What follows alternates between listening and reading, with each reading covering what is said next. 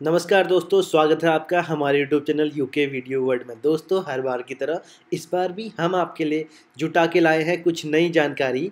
इस बार की वीडियो का टॉपिक है बिस्ट कौन है? जानिए उत्तराखंड के राजपूतों की कहानी, गौरवशाली है इनका इतिहास। दोस्तों बिस्ट जाति का गौरवशाली इतिहास।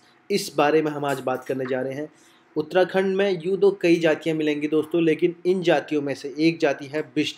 राजपूतों की शान अपनी धरती के लिए अपनी जान न्यौछावर करने वाली है। अपने मान सम्मान के लिए अपने प्राणों की आहुति तक देने वाले इन राजपूतों की कहानी भी शौर्य से भरी हुई है दोस्तों। कई इतिहासकार कहते हैं कि बिष्ट एक उपनाम रूपी शब्द है। इस उपनाम की उत्पत्ति का आधार अभी तक अज्ञात है।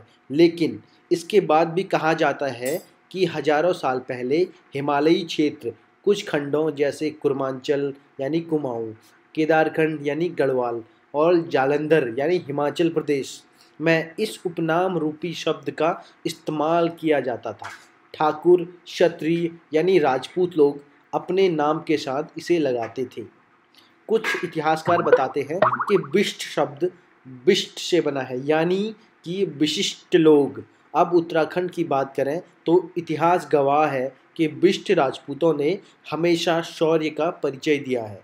दोस्तों, गढ़वाल के बावन गढ़ों में से तीन गढ़ ऐसे हैं, जिन पर बिष्ट राजपूतों का आधिपत्य था। गढ़वाल के कोल्हीगढ़ में बछवाण बिष्ट जाति की लोगों का साम्राज्य था। इसके अलावा गढ़वाल के ही गढ़कोट गढ़ को भी बिष्ट राजपूतों का गढ़ कहा जाता है। गढ़कोट गढ़ मल्ला ढूँगा में स्थित है। यह गढ़ बगड़वाल बिष्ट जाति का था। नेगी की तरह बिष्ट जाति के भी अलग अलग स्थानों के कारण भिन्न रूप है। इसके अलावा गढ़वाल का एक और गढ़ है संगेलागढ़। कहा जाता है कि यहाँ संगेलागढ़ पर बिष्ट जाति का राज था। ये गढ़ नैल चामी में स्थित था। इस तरह से कुमाऊं की तरफ़ बढ़ जाते हैं। गढ़वाल के मुकाबले कुमाऊं में भी आपको बिष्ट ज़्यादा मिलेंगे। इतिहासकार बताते हैं कि यहाँ ठाकुर, क्षत्रिय यानी राजपूत लोग अपने नाम के साथ इस उपनाम को लगाते थे। ये क्षत्रिय शस्त्र कला में बहुत ही निपुण होते थे। कालांतर में अलग अलग राजपूत वंशावलियों ने बिष्ट नाम के उपनाम को अपने साथ जोड़ दिया, जो अभी तक जारी है।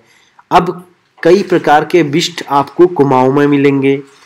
इनमें हीत बिष्ट, शौत्री बिष्ट, कनौड़िया बिष्ट, बौरा बिष्ट, माहरा बिष्ट, जलाल बिष्ट प्रमुख हैं।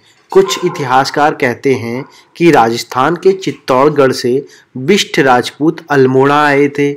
अपने साहस और शौर्य के दम पर उन्होंने कई गढ़ों पर अपना राज जमा लिया था। गढ़वाल में भी बिष्ट एक उपनाम के रूप में प्रयोग किया जाता है, जिसे राजपूत लोग अपने नाम के बाद लगाते हैं। इसमें रमौला बिष्ट और भुलाणी बिष्ट प्रमुख है। खास बात यह भी है कि आपको हिमाचल में भी बिष्ट मिलेंगे। और कुछ इतिहासकार यह भी बताते हैं, बिष्ट एक उपाधि है। यह शब्द विशिष्ट का ही अपभ्रंश है, जिसका अर्थ ही स्पेशल है, लेकिन ये जाति सूचक नहीं है। राजकाल में, बिष्ट की उपाधि राज दरबार में, मंत्रियों को और जमींदार जो राजा के स्थान पर ज़मीन संबंधी कार्य के लिए जिम्मेदार लोगों को दिया जाता था। बाद में ये जमींदारी से जुड़ा हुआ टाइटल बन गया। ज़्यादातर बिष्ट टाइटल मैदानी इलाकों से पलायन कर आए लोगों को ही दिया जाता था। लेकिन टाइटल को लेकर ज़्यादा सख्ती न होने के कारण लोकल खश लोगों ने भी बिष्ट उपनाम लगाना शुरू कर दिया था। असली बिष्ट लोगों की पहचान उनकी ज़मीन है। बिष्ट लोगों के पास अधिक मात्रा में गाँव की सबसे बढ़िया ज़मीन हुआ करती थी। लेकिन अब भेद करना मुश्किल हो गया है। इस बात को ब्रिटिश कालीन गजेटियर भी कंफर्म करता है। तो दोस्तों, ये थी जो जानकारी हमने जुटाई बिष्ट जाति के बारे में, क्योंकि आपके ही कमेंट आए थे हमारे पास पिछली वीडियोज़ में। कि बिष्ट जाति पर भी एक वीडियो बनाएँ। तो दोस्तों, ये जानकारी हमने इंटरनेट से जुटाई। और अगर आपको ये वीडियो अच्छा लगा तो please like, share and subscribe करना मत भूलिए हमारे चैनल को। और बेल आइकन को ज़रूर दबाइए ताकि आगे हम कोई भी नई वीडियो बनाएँगे तो आपके पास उसकी नोटिफिकेशन आ जाएगी। थैंक यू थैंक यू दोस्तों।